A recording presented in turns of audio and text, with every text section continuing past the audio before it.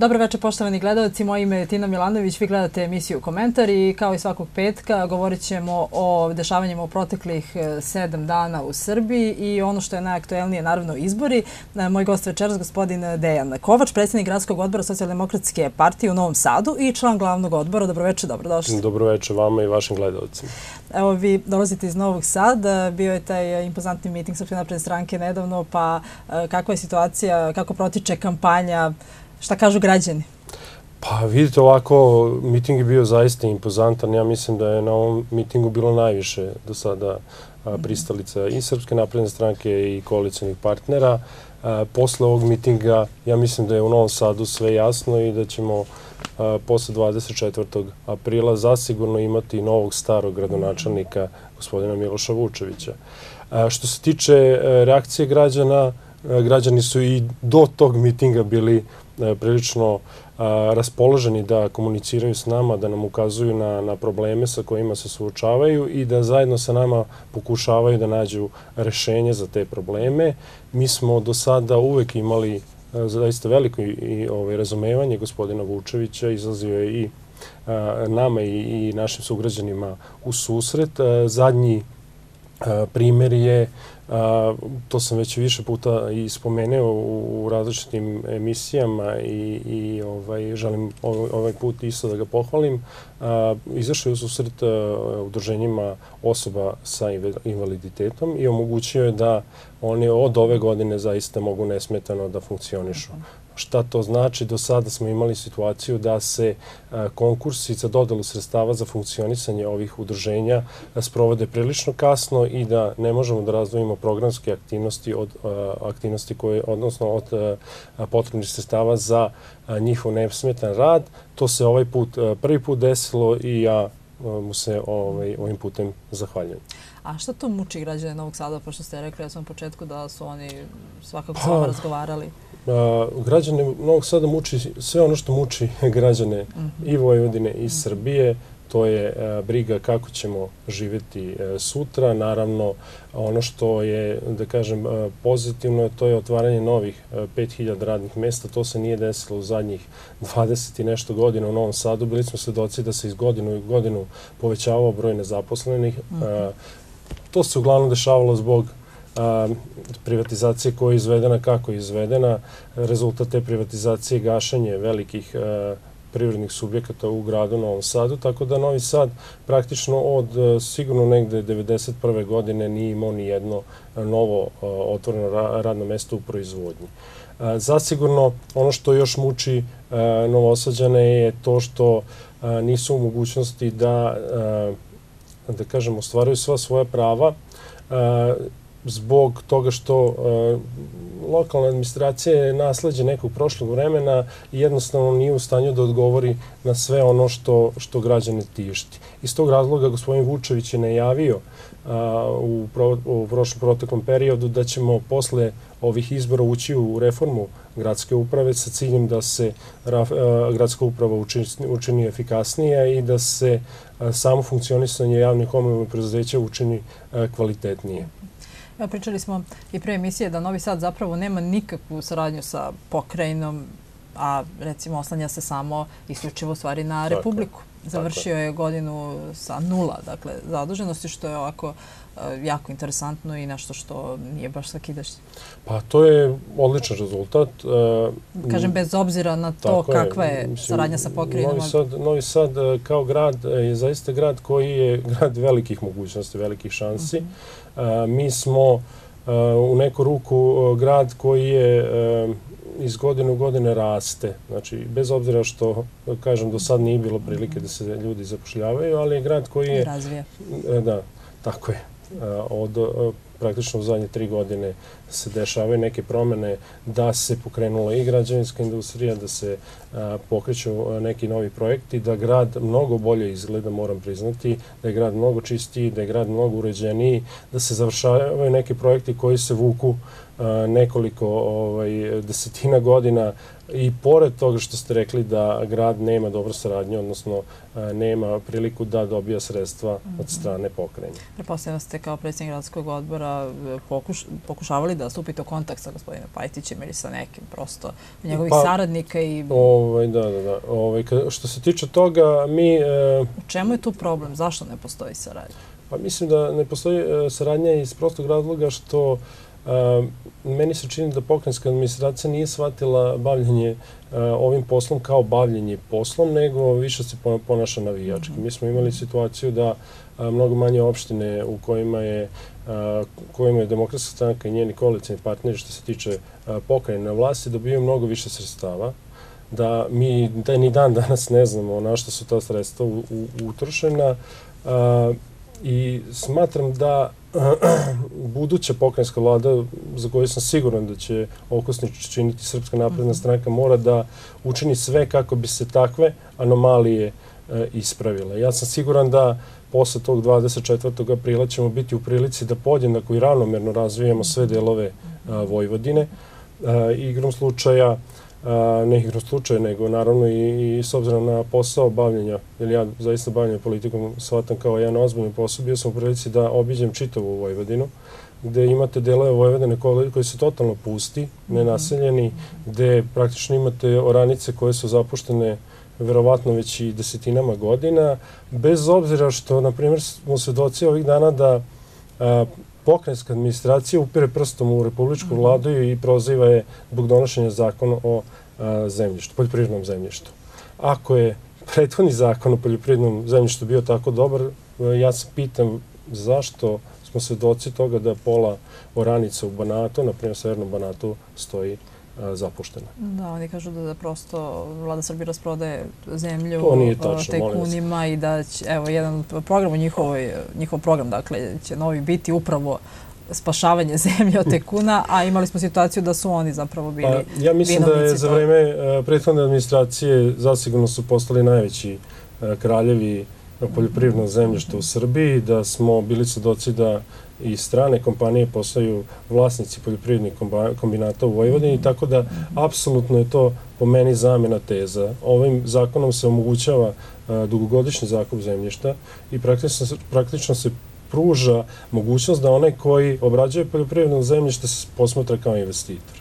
Šta će to dovesti? Ja sam siguran da će dovesti do toga da pored samo obrade zemljište i prikupljene letine ćemo ubrzo imati i prerađivačke prerađivačka postrojenja, tako da ćemo biti u prilici da otvoramo nova radna mesta i da svojim, odnosno evropskim partnerima i Rusiji prodajemo gotove proizvode, ne samo sirovine. Evo da kada govorimo o reformama, Srpska napredna stranka ima jasan program reformi, dakle sa svojih sedam prioriteta, ali Socijaldemokratska partija Srbije takođe ima e, jasan program reformi, pa evo malo bih pričam o tome i uopšte o radu vašeg gradskog odbora. Evo, možemo početi od onoga e, što smo mi uradili u proteklom periodu, znači što se tiče grada.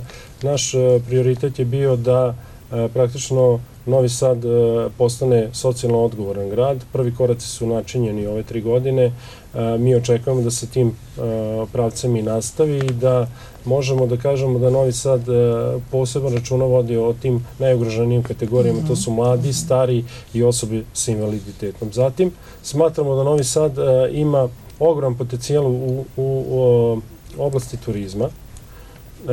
Turizam je, da ka, dolaskom gospodina Vučevića mnogo više se ulaže i u kulturu i u turizam i ovaj ono što je naša ideja i o čemu želimo da pričamo nakon izbora je praktično da se od Petroradina pre, odnosno podgrađa Petroradina pretvori u jedan biser srpskog mhm. turizma. Želja nam je da se napravi jedna marina, želja nam je da se podgrađe Petroradina zatvori za putnički saobraćaj i da se teški teretni saobraćaj, ja se nadam, dolaskom nove vlasti u pokrajini, konačno da će se završiti taj e, železnički, drumsko-železnički most, e, poznati u Novom Sadu kao Žeželje most i da ćemo biti u prilici da teški saobraćaj izmestimo iz centra Petrojedina. E, to je ono što, što su neki prioriteti, znači i odgovorna socijalna politika i otvaranje novih radnih mesta.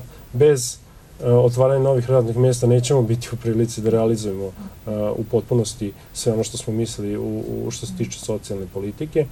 E, i zato smatram da e, praktično odmah nakon formiranja vlasti moramo na oba fronta ozbiljno početi da radi.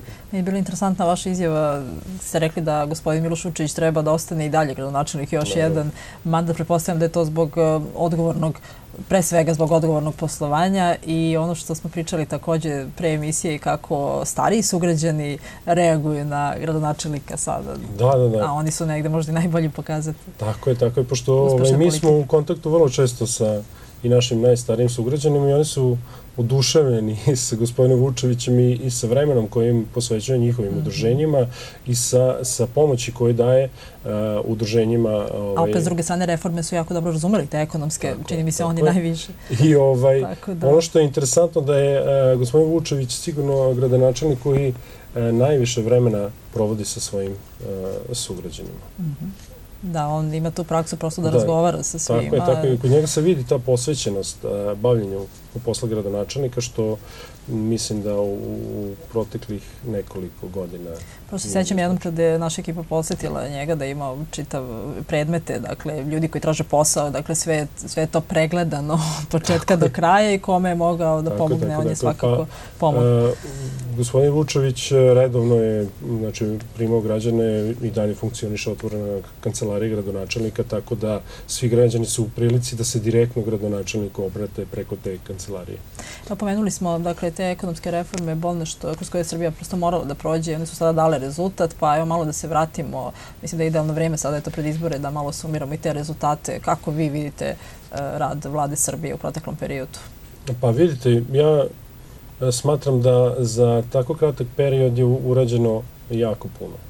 Ono što je preostalo je preostalo je da se uh, izvrši reforma što se tiče i samog funkcionisanja državne uprave.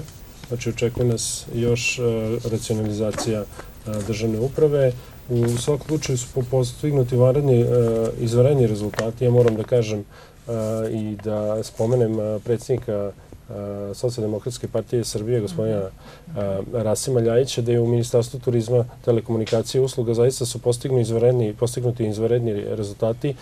Povećan je broj noćenja u odnosu na prošlu godinu za 8 do, do 20% u zavisnosti od dela Srbije. Više od 11.000 besplatnih vouchera je podeljeno našim građanima za, ovaj, za noćenje u smeštenim objektima u Srbiji.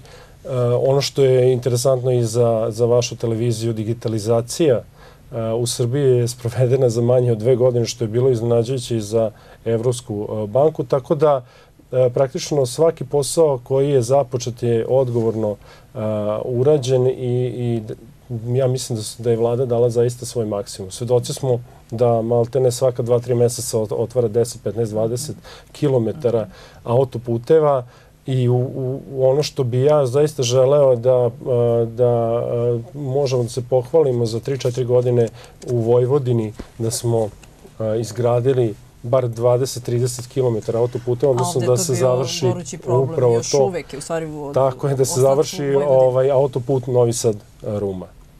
Zašto je to bitno? Svedoci smo otvaranje industrijskih zona ne samo u Srbiji, u čitavoj Evropi, u čitavom svetu je sasvim logično da vi pravite industrijske centre, industrijske zone pored a, značajnih žila kucavica što se tiče saobraćaja, tako da i povezivanje Novog, Novog Sada i Rume posredstvom autoputa zasigurno će otvoriti nova radna mesta. Ja, premijer Aleksandar Vučić je najavio na mitingu u Novom Sadu da će uskoro tu biti otvorene dve fabrike Liri Delfaj, da će biti, jel tako, 5000 ljudi. Tako, smo negde i pomenuli na početku i sada me zanima prosto ko bi mogao tu da aplicira za posao od Novosađana i U Novom Sadu je jako veliko interesovanje bilo za, za rad u ovim firmama i dalje. Koji profili firme, su tu potrebni? profili su srednja stručna sprema, elektrotehnička struka, a, pored tih pored tih profila bili su potrebni i ekonomisti i komercijalisti, tako da nije, da kažem, najviše je potrebno ljudi koji bi radili u samoj proizvodnji. Evo kada govorimo, dotakli smo te probleme, dakle infrastrukture, tu su i komunalni problemi u Novom Sadu. E sada, dokle se stiglo sa tim, da li je Da li je veći deo tih problema rešen ili je ostalo još nešto u ovom novom mandatu sada da, da se prosto reši jer investicije su nešto što očekuje Novi Sad, pa negde to bi trebalo da se završi. Slažem se s vama. Znači, ostalo je još, ali zaista je ostalo uh, da se reši ono što je, uh, da kažem, već, već većina stvari su, su započete i u ovom mandatu. Znači, završeno je, potrebno je završiti uh, komunalno upremanje uh, prigradskih mesta. Ono što mislim da je sledeće je uh, praktično odnosno nije sledeće u smislu da, da je odma, odma na redu, ali zasigurno je neophodno urediti uh, područje uz nove bulevare. Mm -hmm. po meni i po ono što smo mi istakli u našem programu, neophodno je oživeti postojeće industrijske zone. mi imamo nekoliko industrijskih zona u Novom Sadu koje za sada ili izvrlje prazne ili su u njima firme koje ja, rade sa, sa zaista smanjenim kapacitetima i mislim da je to ono što je prioritet. Mm -hmm. Što se tiče komunalnog opremanja, ostalo je u par naseljenih mesta izgradnja kanalizacije da se završi. Ostalo je što se tiče Novog Sada izgradnja centralnog prečistača. Ovih dana se očekuje otvaranje nove fabrike vode u Novom Sadu, to je zaista i velika investicija i, i ogromni projekat koji se privodi e, kraju, tako da što, što se kaže, bijemo bitke na svim frontovima ovih dana u Novom Sadu i neophodno je da nastavimo to da radimo i nakon izbora. Mi smo pomenuli saobraćajnicu Bolevar Evrope koja je završena. Da, da, da, Eto i to, to, da kažemo koliko to znači Novom Sadu. Apsolutno, pa kako da ne. Vi ovaj, stanovnicima novog naselja Futoga i Veternika skraćujete put od autoputa do, do svojih kuća za pola sata, zasigurno. -hmm. Znači, u narednom periodu će se nastaviti sa izgradnjom kapitalnih E, saobraćajnica, ali kažem imamo tu nekoliko kapitalnih projekata koje je mm -hmm. neophodno završiti a, po uspostavljanju, odnosno po, po, po postavljanju nove pokrajinske administracije, gde će zasigurno biti mnogo laše komunicirati i, i završavati a, poslove. Evo, kad sada govorimo o uspesima gradske kuće u Novom Sadu, ne mogu da ne pomenem i sećate se vi kada je Demokratska stranka tražila izveštaj o radu gradske kuće, e, što nije bio problem da gradska kuća Novi Sad pokaže, oni su to i dobili, a prosto kada je bio obranut slučaj, pokrajina nije htela da podnese svoj izveštaj radu, pa onda državna revizorska institucija i pronašla tamo novac. Zapravo nije ga pronašla, reč je o tome od dve milijarde, čini mi se, dinara koji su nestali. Pa vidite ovako, ovaj, malo smo se, par puta smo se dotakli ozbiljnosti i neozbiljnosti mhm. obavljanja određenog posla. Znači, a, morate razlikovati po meni ono što je što pokazuje naša vlada, to je društvena odgovornost, pokazuje da je posvećenost poslu, pokazuje energiju s kojom radi svaki posao, da, da je spremna i da se uhvati u, u koštac sa problemima koji postoje već 30-40 godina, kao što je Prokop, da završava projekte koji su neki drugi započeli bez odgovarajuće dokumentacije, da sve to nadoknađuje. I imate jednu administraciju koja je 16 godina A, praktično je, ja sam ovaj, rekao, znači formirali su vladu u senci, kod nas to zove vlada u hladu, ovaj, koja isto tako se ponašala i pokrenjska administracija.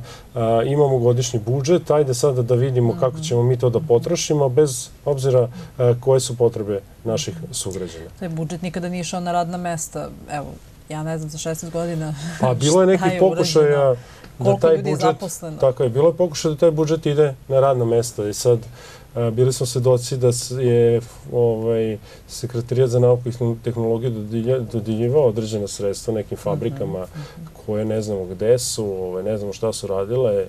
A, ne bi želeo sad da se vraćam na te teme, vaši rani gosti su spominjali te teme, ali zaista je neverovatno da vi ako imate nekoliko puta veći budžet od najvećeg ne neko, nekog desetina mhm. veći puta veći budžet od najvećeg grada u Vojvodini i toliko puno stvari se u, u Novom Sadu uradi sa toliko malo sredstava, vi u pokrajini ne možete da otvorite bar, što sam ja rekao, 100 radnih mesta godišnje, onda zaista mislim da niste za taj posao.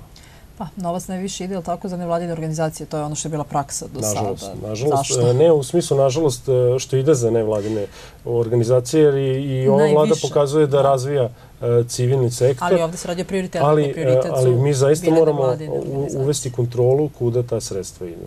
Ja mislim da je to Novi Sad učinio. Uh, Novi Sad što se tiče dodale sredstava za, za ovaj, nevladine organizacije, za finansiranje njihov program ima mnogo srožaju kontrolu nego što to ima pokrenjska administracija koja, kao što sam rekao, raspolaže sa mnogo više sredstava.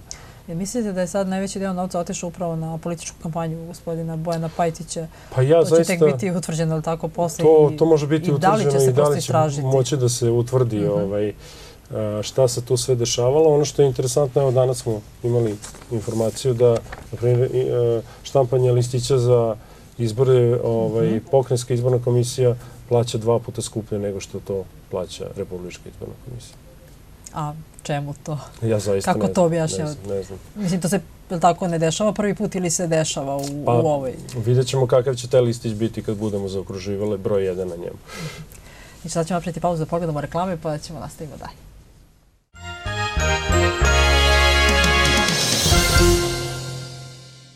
Ako od ovog trenutka sa nama, govorimo o predstojećim izborima. Vi gledate emisiju Komentar i ono što sam ja htjela vas da pitam, predsjednik vaše stranke, gospodin Rasim Ljajić, je rekao da Vojvodina na mitingu u Novom Sadu, da Vojvodina svakako zaslužuje bolje i da je e, vreme da se živi u Vojvodini kao što se živjelo nekad, jer je ona prosto lokomotiva razvoja Srbije. E, koliko je moguće da Vojvodina prosto vrati taj e, stari sjaj kakav je imala nekad? Pa ja sam ubeđen da je moguće. Da, ne bude samo deklarativno da pričamo o tome, prosto Ubeđen sam da je moguće, samo je potrebno, potrebno je vreme. Zaista uh, moramo biti strpljivi. Ja ovaj, često u razgovorima sa građanima kažem uh, mi smo prošli kroz zaista turbulentan period. Ovaj, ja mislim da će ovo biti jedna od najinteresantnijih istorija Srbije kad se bude pisala, -hmm. znači mhm. od ogromne krize, od ratova u okruženju, od da kažem, jednog razaranja u svakom pogledu i infrastrukturnom i ekonomskom smislu. Bili smo svedoci ogromnih, da kažem, problema s kojima su se naši sugrađani suočavali u proteklih 24 godine posle onog bombardovanja strane NATO pakta. Bili smo suočeni sa na neki način pljačkaškom privatizacijom i nemoguće da se Srbija oporavi za dve, tri, četiri godine, da se oporavi tako brzo. Mi smo krenuli putem reformi, fiskalne konsolidacije, budžet Srbije stabilan, a isto to je neophodno uraditi i sa Vojvodinom. Nemoguće je da vi postojete kukuruza da ga ovaj, požnete sledeći dan. To je sasvim to znamo svi, jel tako? Mhm. Znači, u Srbiji, odnosno u Vojvodini, ja očekujem boljitak za par godina.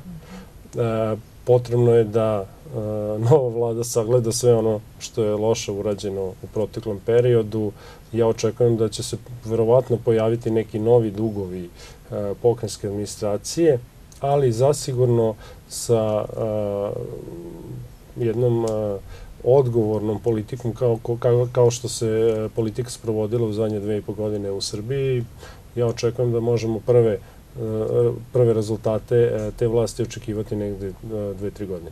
Siguran sam da ćemo ih videti. Kažem, ukoliko se bude krenulo u razvijenje Vojvodine, kad mislim razvijenje Vojvodine, mislim na infrastrukturno, ovaj, razvijenje infrastrukture, mislim na izgradnju saobraćenica, prosto je neverovatno. Meni kao nekom ko žive u Vojvodini, često i, i putujem dole na jug Srbije, a, neverovatna je situacija da su a, da je stanje puteva u Vojvodini a, tako kako jeste, da je za ovih 20 i nešto godina niko nije pokrenuo pitanje izgradnje jedne moderne saobraćanice prema Rumuniji, da stoji taj projekat izgradnje autoputa kroz Srem, Znači, to je sve ono što, što moramo uraditi da bi uh, Vojvodina živela bolje. Uh, moramo dati priliku mladim ljudima, moramo vratiti ljude na selo, Znači, vratiti moramo, pre svega u Srbiju, pošto je dosta ljudi prosto otišlo za vreme ali znate kako, demokratske stranke. Evo, uh, uh, gledano, Novi Sad je od 1950. godine do danas narasto tri puta. Uh mhm. Znači, e, Subotica je bila veća od Novog Sada 1950. godine, sada je Subotica e, tri po puta manja od Novog Sada. E, uglavnom sva mesta u Vojvodini se suočavaju sa smanjenjem broja stanovništva, osim Novog Sada koji, pratići statistikom, svaki na dve godine broj birača se poveća za 8000. Znači, e, moramo e, napraviti preduslove da bi se naši mladi ljudi vratili u sredine iz kojih e, dolaze, da im stvorimo uslove da tamo mogu normalno da žive, normalno da rade, da žive od svog rada i zasigurno će Vojvodina živeti bolje. Evo govorimo o mladima, nije ni čudo dakle, što su napustili Vojvodinu ako je ovde nezaposlenost 22%, a u Srbiji je sa 26, u ostatku Srbije sa 26, prosto pala na 17. e, sada kako, kako sada rešiti to, dakle krenuti kada je reč o tome? To je stvarno veliki, kako bih rekla, procent. Veliki posao, zaista. A recimo u pojedinim opštinama gde je Srpska napredna stranka na vlasti, kao što je recimo Stara Pazova gde smo sada, je prepolovljena, dakle praktično da, ja i nema... Da, ja sam udušen, mogu reći, kad sam dolazio u Staru Pazovu, da Ovaj, e, pa ja koliko sam upućen Stara Pazova i proglašena za opštinu gde možete sve rešiti za 20 minuta i što se tiče dozvole i dobiti zemljište, tako da sve to što smo... Pa dosta ljudi iz Beograda recimo dolazi i radi pa da. u, u Tako da sve to što je primenjeno već, e, odnosno model koji funkcioniše, samo primeniti u ostalim opštinama i kao što smo rekli, dakle, sada krenuti kada je reč o nezaposlenosti, prosto tu, to je ovako jedan morate, ključni problem. Građani se uglavnom na to žale. Svi hoće je, ali, posao. Ali vidite, e, ono što je radila vlada Srbije isto tako može da radi i vlada e, Vojvodine, privlačiti investitore. Vi znate da vlada Vojvodine formirala, formirala fond za privlačenje investitora. Mm -hmm. Tako, imamo VIP fond uh, pri vladi Vojvodine. Mi imamo kancelariju za evropske poslove vlade Vojvodine. Imamo fond Uh, ovaj, za brze odgovore, za lokalni ekonomski razvoj. Novi Sad je među prvim gradovima Ne, ne, pričamo o Novom Sadu sada. Mhm. A ja vam pričam -huh. o, o mhm. vladi Vojvodine koja je mhm. sve imala instrumente da, i mogućnosti i nije iskoristila.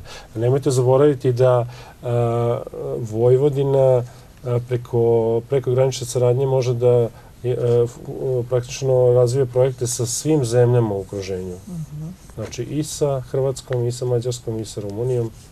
Tako da e, zaista je bilo i mogućnosti i sredstava, samo što mislim da je falilo e, znanja i iskrene želje da se nešto promeni. Tako da ukoliko budemo ozbiljno pristupili poslu, što sam siguran da ćemo raditi, ja očekujem da se stvore prvo preduslovi da bi investitori došli u sredine kao što je i e, Sombor, kao što je i Kikinda, kao što je i Zrenjanin i manja mesta u okruženju gde bi praktično razvojem tih njihovih industrijskih zona, privlačenjem stranih investitora, davanjem subvencija i pospešivanjem i, i domaćih investitora da se te industrijske zone razvijaju i zapošljavaju mlade ljude. Evo ono čemu je još govorio predsjednik vaše stranke na mitingu u Novom Sadu je i briga o nacionalnim manjinama. To je nešto što je jako važno i nešto na čemu i premijer Aleksandar Vučić e, radi. E, dakle, uveliko. E, kakva će izgledati slika posle izbora kada je reč o dakle, nacionalnim manjinama i da li je moguć taj model koji je predložio vaš predsjednik, dakle da Srem, Banat i Bačka da su jedine prosto i da to bude kako bi svi živjeli bolje prosto, to bude kao jedna sredina? Pa ja sam siguran da je moguće. Ja sam siguran da je moguće. E, e, moramo se setiti da je u nekim prošlim vremenima vrlo često se dešavalo da imamo e, međunacionalne sukobe i u Vojvodini i na Sanđaku. Od u zadnjih 3-4 godine takvih sukoba nema. Ono što je zasigurno da je nivo zastupljenosti predstavnika nacionalnih manjine u organima upravljanja u državnoj upravi je zadovoljavajući, da je finansiranje svih glasila nacionalnih zajednica i, i ovaj, nacionalnih saveta rešeno kroz jedan zakon koji se primenjuje. tako da, a nemojte zaboraviti da svi zajedno smo živeli na ovim prostorima zadnjih 300-400 godina, da je da je i Novi Sad i čitav Vojvodina jedna multikulturna sredina, da su se nego, negovale različitosti i da su te različitosti u teškim vremenima a, pokazivalo koliko, pokazivale koliko su ljudi privrženi jedni drugima i koliko su da, dobre da komšije. I zato meni ovaj slogan pokazuje upravo ono što se dešava u Srbiji, da ujedini možemo sve. Nas su optuživali kao stranku za neprincipijalnu koaliciju sa Srpskom naprednom strankom, a međutim ja postavljam pitanje kako možete biti neprincipijalni kad se borite za dobro ovog naroda sa strankom koja želi dobro ovom narodu? Evo, ono što smo i u početku pričali, prosto izborima i kako protiče kampanja, e, kako je rekao premijer Vučić, najmanje incidenata je bilo tako, u ovoj kampanji, tako. ali prosto da se osvrnemo na e, izbor za savjete mesnih zajednica u Bačkom Monoštoru i u Kovačici, da se setimo onih incidenata koji su e, bili jedan komentar na to, a evo Kovačica jeste takva interesantna sredina gde žive i manjine. Pa, imali smo sad i situaciju da predsjednik jedne stranke pripadnik nacionalnom manjinama naziva uh, pogrednim imenima. Ne mhm. mislim da je to pogredno ime, nego mislim način na koji se on izrazio je zaista uh, po meni bilo i tužno i, i ružno. Ovaj, uh, ti sukobi su više iscenirane kako bi se pokazalo da u Srbiji postoji neka nesigurnost, da će u Srbiji biti neka neregularnost i, i ovaj, da će u Srbiji postoji mogućnost da, da izbori budu neregularni.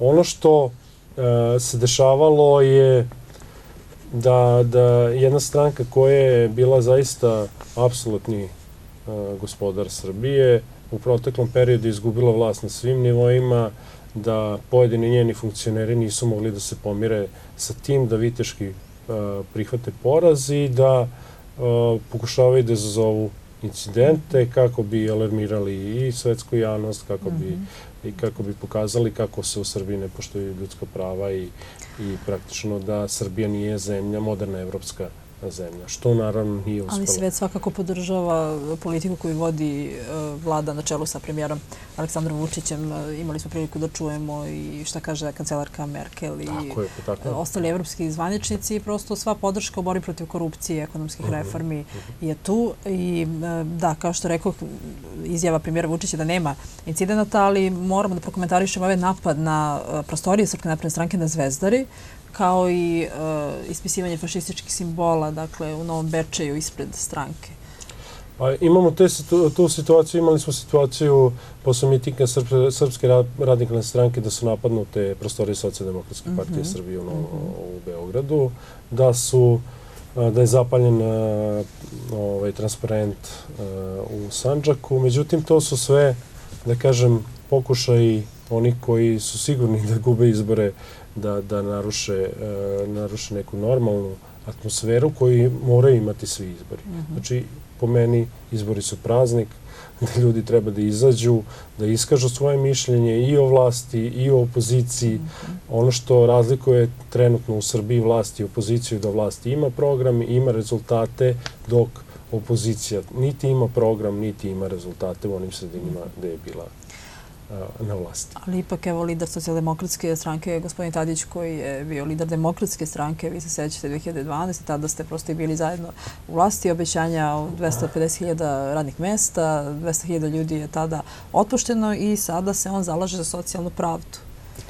Pa, imate ovaj, u Srbiji jedan broj političara koji misle da mogu da se obećavaju razne stvari iz godine u godinu, iz godine u godinu i da u, na političkoj sceni možete da trajete sa obećanjima mm -hmm. 20, 30, 40 godina.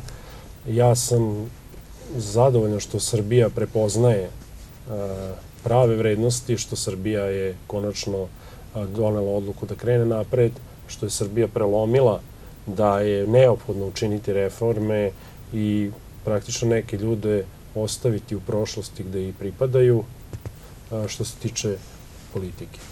Ono što se obećavalo, ne samo se obećavala i 250.000 radnih mesta, imali smo mhm. i solarne elektrane od jednog gigavata, teravata, imali smo razne obećanja raznih, da će doći razne kompanije otvarati fabrike, da će doći Ikea, da će doći ne znam koje... I prekoš investicija prosto koje nisu završene, nisu projekata koji nisu, nisu da ni počeli.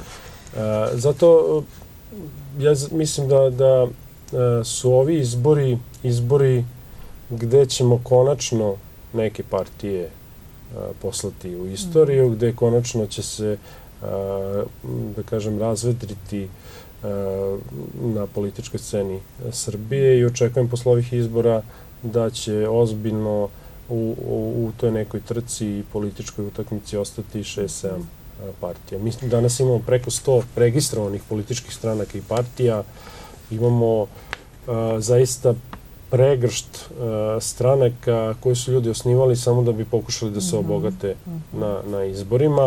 Uh, mislim da tek kada se bude u potpunosti profilisala politička scena Srbije, kada na političkoj sceni bude ostalo 5 do 7 političkih partija, možemo pričati o a, političkom pluralizmu u pravom smislu. Ovo je sada, a, pojedinici pokušavaju da naprave reality show od, od izbora, što mislim da nije u redu, s obzirom da, da su obavljali vrlo odgovorne a, državne funkcije. Ali, tako, imamo izjavu gospodina Tadića koja kaže ja ću uvek biti opozicija ovoj vladi, ali neću nikad biti opozicija zemlji. Koliko je sad ideja o tom nekom ujedinjenju oko zajedničke ideje moguća sa takvom opozicijom koja je tako nastrojena prosto? Pa iskreno kažem, ja mislim da sve ima svoj rok trajanja, ovaj, mm -hmm. pogotovo političari. Mm -hmm. Tako da ovaj, e, nije realna e, nije realno ujedinjavati ljude oko oko nekih propalih ideja i mhm. lažnih obećanja. Ono što sadašnja vlada nudi, niti su lažne obećanja, realno se prišlo problemu, realno je rečeno ljudima teško će se živeti nekoliko godina. Mhm. Posle toga možemo da očekujemo da ćemo se vratiti na neki normalan put, normalan rast bruto nacionalnog dohodka, da ćemo moći da zapošljamo nove ljude, mm -hmm. nove ljude, da će rasti plate i da ćemo na neki način obezbediti da se građani osjećaju sigurno da mogu od svog rada da, da žive, da mogu od svog rada da planiraju neku budućnost, da mogu od svog rada da, da hrane porodice. Oko jedna, moram priznati, nadrealna izjava gospodina Balša Božovića gde kaže da će se truditi da zaposli 100.000 mladih ljudi, da će tražiti da se u zakonu prosto izmeni taj deo koji, gde kažu da odmah kada mladi završe, po, završe školovanje, da bi trebalo da dobiju posao, a e, znamo da je za vreme, dakle, upravo vladavine demokratske stranke dosta ljudi i to mladih ostalo bez posla i da je nacionalna služba za zapošljavanje jedino mesto zapravo koje su oni posećivali. Da, to je Oni tačno. koji nisu mogli da odu Nažalost, to je tačno. Ovaj, ja ne znam, čini mi se kao da neki političari misle da ne živimo u nekim azijskim zemljama gde teče nafta ulicama, pa da možemo da dajemo takva obećanja i da možemo da računamo da ćemo a, 100.000 mladih ljudi zaposliti za jedan dan. Znači, nismo u toj mogućnosti. Mi možemo da stvorimo preduslove da ti mladi ljudi uđu u tu tržišnu utakmicu, da ponude svoje znanje, svoje veštine i da onda praktično u skladu sa tim dobiju priliku da, da se iskažu. Ali danas obećati nekom da ćete za, za godinu dana zaposliti 100.000 ljudi je zaista neozbiljno. Bili smo svedoci da od 2000, evo daću samo primer, Novog Sada, gde vi ste od Jugodenta, Jugolata, Novog kabela, naftne industrije Srbije, vi ste iz godine u godinu imali samo sve manje i manje zaposleni u tim firmama. Znači, mi smo gubili godišnje nekoliko desetina hiljada radnih mesta. I sad vi očekujete da ćete vi, kad dođete na vlast, teće med i mleko i odmah će strani investitori, investitori vama samo uh, ovaj, ponuditi da, da, da otvaraju fabrike. I čak i da se desi da, da odjednom ovaj, ne znam koliko uh, stranih uh, investitora dođe u Srbiju i da, da krene da otvara radno mesto, ni to se ne može desiti jednom, znači potrebno neko vreme Ali, i da bi se takav sistem jedan uspostavio.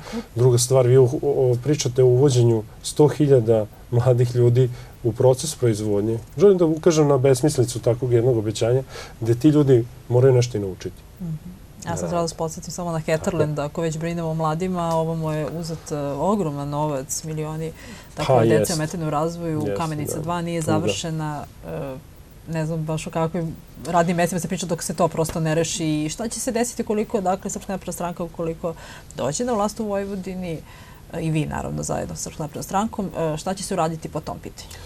Pa vidite ovako... Uh, šta će biti s tim započetim? Pa prvo ćemo projektom? završiti ono sve što je započeto. Znači sve ono što ima smisla i što je započeto, a, a mora da se završi, to će biti svakako prioriteti za završavanje. Mm. Vi ste uh, spomenuli Kamenicu 2 koja se zida ja ne znam, neki 15-20 godina skoro, nije 15 godina se zida skoro, od ideje pa do od počinjenja procesa nabavke pa do što kaže završetka čitavog posla. Još uvek nije završena, gospodin Milovančević skoro rekao da je taj čitav posao bio zamišljen da košta 20 miliona evra, sad je došao na 30 i nešto, još uvek se ne nadzire kraj.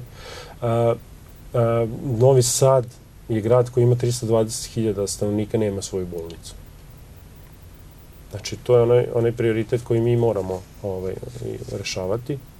A, imate a, klinički centar koji isto tako zidan jako dugo i isto tako nije završen. To su sve projekti a, pokrenjske vlade koji nisu do kraja zaživeli. Znači, a, i to je samo u Novom Sadu. Sve zamislite 46 opština u Vojvodini gde je svašta nešto započeto i sve to treba završiti. A pošto privodimo emisiju kraju, ne znam da li je rano da govorimo o ishodu izbora nije, koji je, vaš stav, vaš predsjednik kaže da je neosporno da će lista koji prevodi Aleksandar Vučić dobiti najveći broj mandata negde i rejtinzi stranaka ovih dana, koliko sam mogla da vidim, govore upravo u prilog toj činjenici i pretpostavljam da očekujete pobedu. Apsolutno očekujemo pobedu. Ovaj, to nam, za to nam daje, to, ovaj, daje nam rezultati i anketa i daje nam zapravo i reakcije građana zaista je ovaj, e, reakcija građana u Novom Sadu je takva da prilaze, žele da komuniciraju s nama, žele, nam, ovaj, žele da nam pomognu da a, pronađemo rešenje za sve to što je nagomilano problemi, e, ti problemi koji su nagomilani u Vojvodini. Ja sam siguran da zajedno sa koalicijnim partnerima Srpska napredna stranka će činiti e, sledeću pokrajinsku vladu. Siguran sam u to da će gospodin Vučević imati još jedan mandat u, u Novom Sadu. Uh, ono što, što bi mi bilo zaista drago je s obzirom da je čovjek koji je počeo jako puno poslova koje treba i mhm. završiti, s obzirom da je čovjek koji a, e, je, da kažem, i poteko iz Novog Sada odrastao a, na ulicama Novog Sada i ima a, najbolji senzibilitet što se tiče samog grada. I koja je vaša poruka građanima ovako pred izbore? A, moja poruka građanima je da nemaju nikakvu dilemu 24. aprila da izađu u što većem broju, u što većem broju da daju podršku listi Srbija pobeđuje. A, Vojvodina će sigurno pobediti sa novom pokrajinskom vladom, tako da a, ja verujem da, da Srbija i Vojvodina i Novi Sad posle 24. aprila uplovljavaju neke mirne vode, vode gde, gde se nadzira neka sigurna budućnost i da se nadzire konačno kraj ovim svim reformama, tranzicijama i svim onim problemima koji su nas mučili u zadnjih 24 godine. I ko bi mogli da bude novi premijer u Vojvodini? to ne mogu licitirati zaista. Ovaj, ja sam siguran da će Srpska napredna stranka, ja smatram da, da ovaj, zasigurno će imati jedina pravo i mandat da, da predloži e, kandidata. Ima par kvalitetnih e, kandidata u redovima Srpske napredne stranke, e, tako da nesumljivo će doneti pravo odluku. Hvala puno što ste bili gost emisije Komentar. Vidimo se posle izbora svakako. Hvala vama na pozivu. Prijetno. Hvala vama, poštovani gledalci. Vidimo se sledećeg petka. Prijetno večer želim.